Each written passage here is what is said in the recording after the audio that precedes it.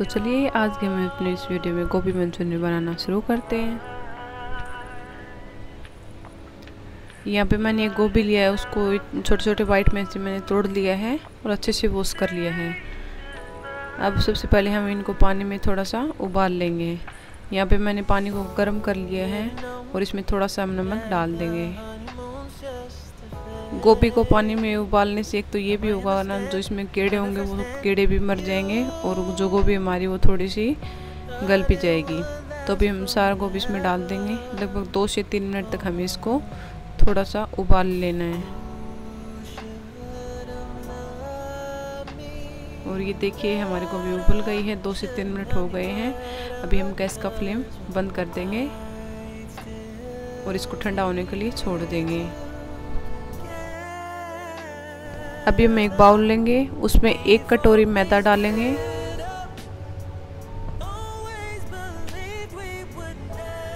और यही सेम कटोरी, हम एक कटोरी डाल रहे हैं कॉर्नफ्लोर अगर आपके पास राइस चावल का आटा है तो वो भी इसमें डाल सकते हैं। मेरे पास नहीं था तो मैं ये यूज़ कर रही हूँ। और कश्मीरी लाल मिर्च डाल रही हूँ कलर के लिए। थोड़ा सा नमक। अदरक लहसुन का पेस्ट बनाया था मैंने, वो इसमें डाल दिया है एक चम्मच और इनको अच्छे से मिला लेंगे। और पानी की सहायता से इसका ऐसा थोड़ा गाढ़ा गाढ़ा समय बैटर बना लेना है। ये देखिए इस तरीके का।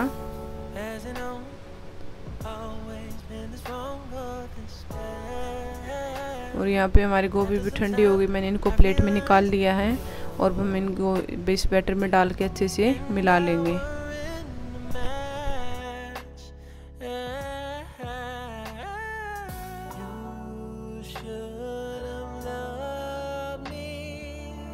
ये देखिए, मैंने इसको हाथों से अच्छे से मिला लिया है। अब हम इसके ऊपर थोड़ा सा कॉर्नफ्लोर जो था, वो इसके ऊपर छिड़क देंगे ताकि जो हमारी गोभी आपस में चिपके ना, और अभी हम इनको एक प्लेट में निकाल लेंगे। ये देखिए, मैंने इस तरीके से निकाली है। अभी हम करेंगे फ्राई। फ्राई करने के लिए मैंने यहाँ पर रिफाइंड ऑयल डाला है कढ़ाई में। जब भी मैं पकौड़े वगैरह बनाती तो इसी ऑयल में बनाती तो वो मैंने स्टोर करके रख रखा था। तो अभी हम इसमें जो ये गोभी है, इनको अच्छे से फ्राई कर लेंगे।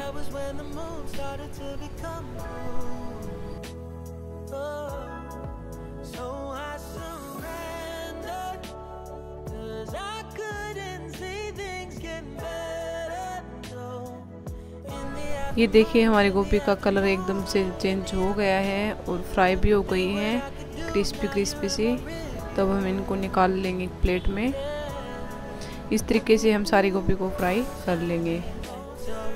और ये देखिए, मैंने सभी गोभी को फ्राई कर लिया है।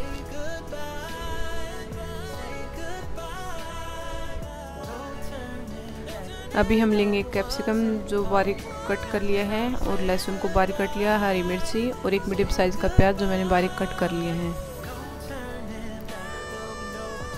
और यहाँ पे हम एक कटोरी में लेंगे एक चम्मच विनेगर और दो चम्मच सोया सॉस अगर आपके पास ग्रीन चिल्ली सॉस है, वो भी आप इसमें ऐड कर सकते हैं और जो टोमेटो केचप होता है, वो भी आप इसमें ऐड कर सकते हैं। मैं यहाँ पे सोया सॉस और विनेगर को ही ऐड कर रही हूँ। यहाँ पे मैंने कढ़ाई ली है, उसमें थोड़ा सा तेल डाल लिया, अब हम जीरा डाल देंगे इसमें। जीरा चटकने के बाद हम इसमें डाल देंगे हरी मिर्ची और जो लहसुन हमने बारीक कट किया था वो डाल लेंगे।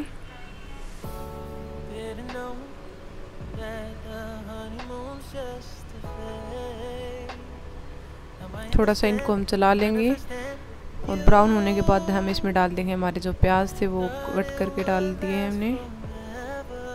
इनको हम थोड़ा ब्राउन होने देंगे, फिर हम इसमें कैप्सिकम डाल देंगे, इनको भी हम थोड़ा फ्राई कर लेंगे।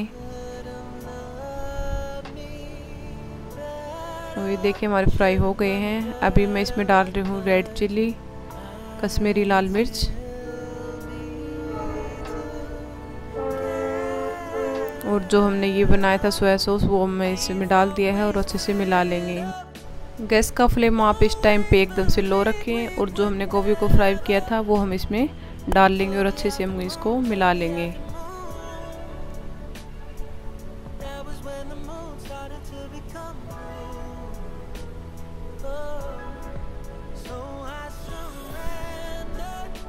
और ये देखिए, मैंने सारे गोभी को एकदम से मिला लिया है अच्छे से और जो हमारे गोभी मंचूरियन है वो बन के रेडी है।